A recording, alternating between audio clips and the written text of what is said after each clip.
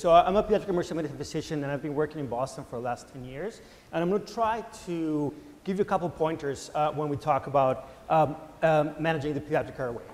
Um, so we can run this. So what's going through your mind where you have a, a patient like this? Like, like, what are you thinking? How are you going to address and approach this airway? All right. So uh, why is this concerning? Why is this an issue? It doesn't happen that commonly enough. It's kind of rare.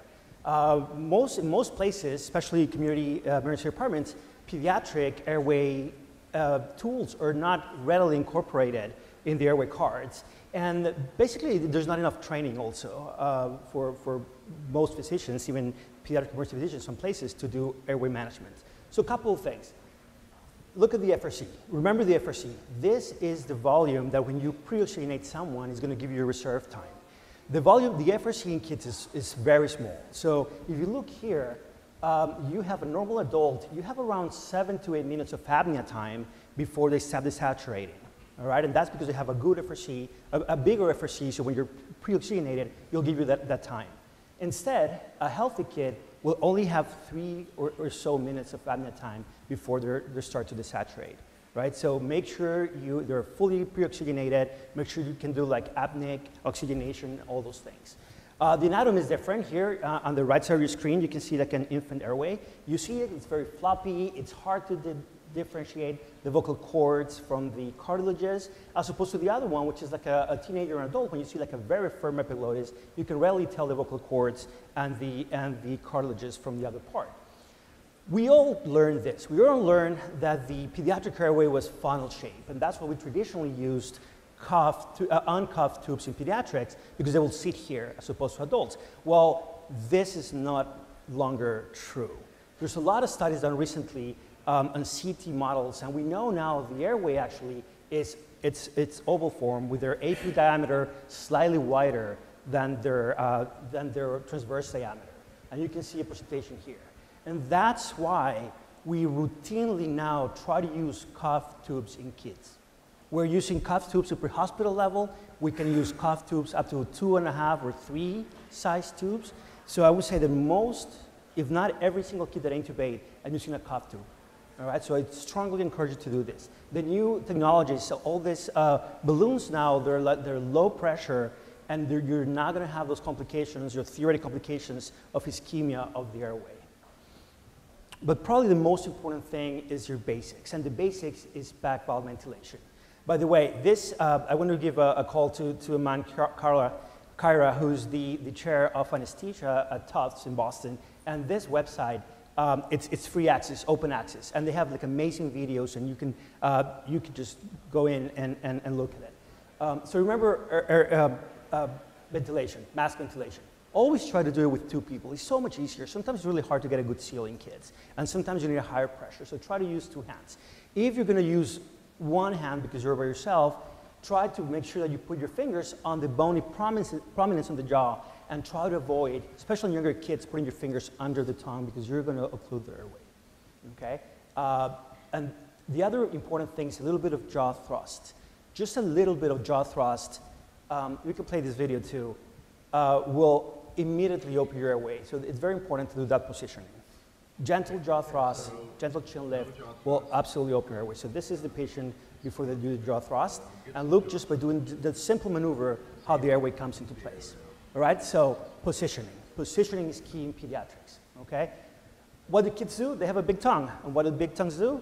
They obstruct. So every time I'm bagging a patient, a kid, I'm using an oral airway, and I'm considering using a nasal trumpet as well right? You can bag, you can avoid intubating kids when they're seizing if you're able to put an, an oral airway and bag these kids away.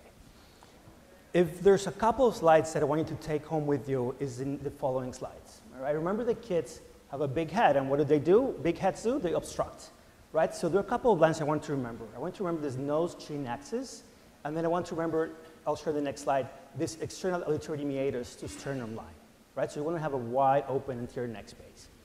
And you need to use whatever you have available, uh, like headrests, shoulder rolls, to align these two lines. Nose chin axis line and external auditory meatus to external notch axis. So when I'm going to intubate a kid, before standing on the head of the bed, I stand on the side of the bed and look at the kid on the side and make sure these things are aligned. All right? For example, this kid is a little bit, uh, it's a little bit tilted, so it's a little bit flexed. This kid is way too hyperextended. All right? So when you're going to look at that airway, your, your axes are not going to be aligned appropriately. So use whatever you have uh, before you intubate this kid so you approach the airway. All right? So probably mo the most time that you do before intubating is preparing, getting your position, getting everything else that you need. Okay? So take a, a second before you do this and move forward. There's a lot of, of, of, of discussions uh, about what uh, is the best uh, tool to use to bag these kids. Most places have the self-inflating bags. Um, I think overall we tend to use more the, the flow inflating bags. You have a much, a much better way to sense that airway. You can easier do positive pressure, continuous positive pressure ventilation with, a, with an anesthesia bag.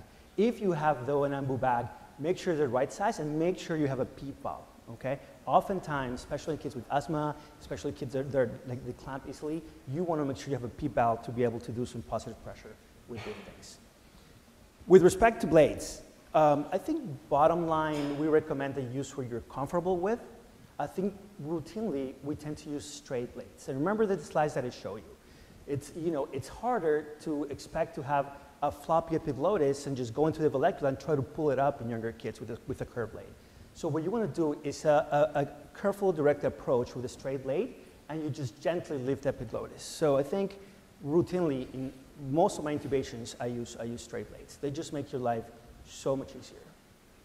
Another thing that actually happens in my shop all the time and drives me crazy is uh, the stylets. Make sure you have a 10 French stylet.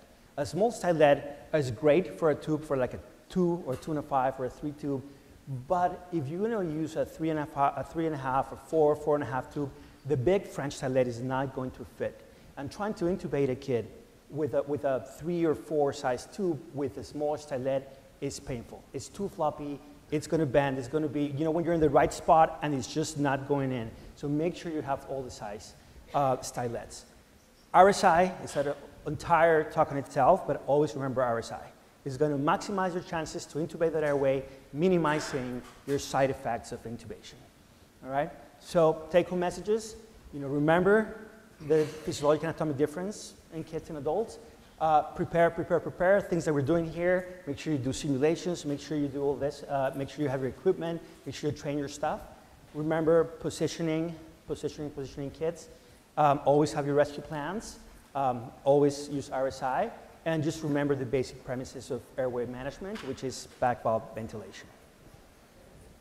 And I open for questions.